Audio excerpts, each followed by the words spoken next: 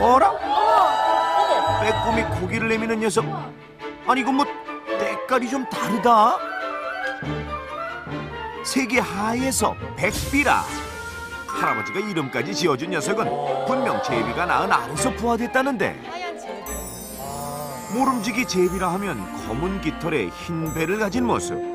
하지만 백비는 도무지 닮은 구석이 없다.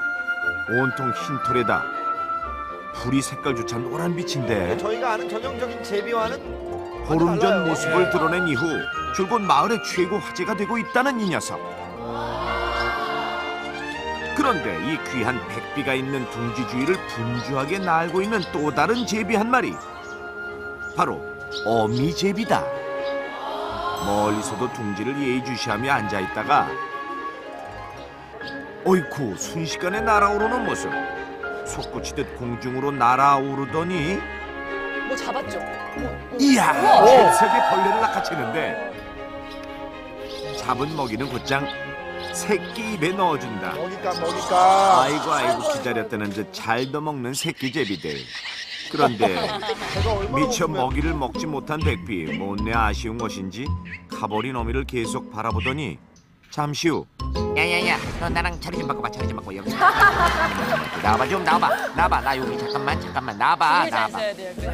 어미 눈에 잘 띄는 자리를 차지하려는 건지 틈새를 비집고 들어가는 녀석 엄마 엄마 여기 여기 음 그래 여기 여기 여기 여기 여기 음 여기 여기 음 여기 여기 여기 여기 결국 연속으로 먹는 데 성공이다.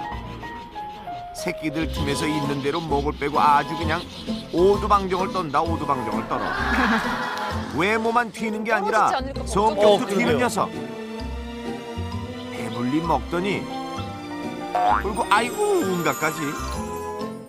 아까 그렇게 먹을 때 알아봤다. 아이고 아이고 아이고. 그래도 볼일은 꼭 밖에다 보는 센스. 아니 아저씨 뭘 봐요 제비한테도 어 그런 사생활은 있는 거라고요 요 귀여운 녀석을 보기 위해 매일 수시로 몰려든다는 어르신들. 귀한 손주를 본 듯 조용했던 동네엔 모처럼 활기가 돈다는데 온통 하얀 털을 가진 녀석이 봐도 봐도 신기하다는 어르신들. 지금 80 누이래요 내가. 근데 저 제비 춤 본다니 하얀 거. 아유 경사 났어 이 집이 경사 났어 이 전체 이 집 경사만 아니라 이 동네 경사라고나 볼 수 있고 예로부터 좀처럼 보기가 힘들어 길조로 여겨졌다는 흰제비. 대체 녀석은 얼마나 귀한 몸인지 20년간 조류만 연구해온 야생 조류 전문가를 현장에 모셨다. 도착하자마자 백비의 모습에서 눈을 떼지 못하는 전문가. 자꾸 이렇게 조류 관찰을 하면서도 신제비 본 거는 처음이에요. 이제 돌연변이 현상이면서 이제 그 나올 수 있는 확률이 굉장히 어려운 거죠. 어 그래요? 그래서 옛날부터 이제 그 저 신제비가 나타나면 이제 길조라고 그랬어요.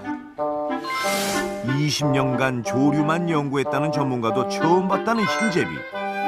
둥지의 위치 역시 남다르다는데 나무로 가려져 천적을 쉽게 피할 수 있으면서도 햇볕이 잘 드는 명당이라고.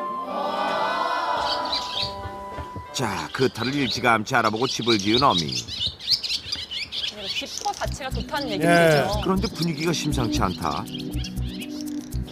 어미가 울어대자 새끼들은 어 낮은 오. 거북 자세로 몸을 숨기기까지. 대체 녀석들 왜 이러는 걸까? 그런데 크게 울어대는 어미의 시선이 향한 곳엔 오 고양이들이 있었다. 행여나 새끼들을 해칠까 불안한 것인지 그런 거 같은데? 여기서 계속 맴돌기만 하고 안 가. 어미는 둥지 주위를 날며 극도로 경계하고 아, 있었는데 제비도 모성애가 강한가 봐요. 계속 경계 신호를 보내는 어미를 보며 새끼들도 뭔가를 느낀 것인지 잔뜩 몸을 웅크린 채 둥지 안으로 몸을 숨기고 있었다. 잠시 후 어미 제비의 시끄러운 울음소리와 위협적인 비행이 계속되자 슬그머니 자리를 옮기는 고양이.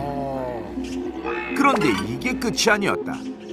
까치 한 마리가 나타나 새끼들을 노리고 있는 것. 다시 한번 어미가 한쪽으로 날아올랐다.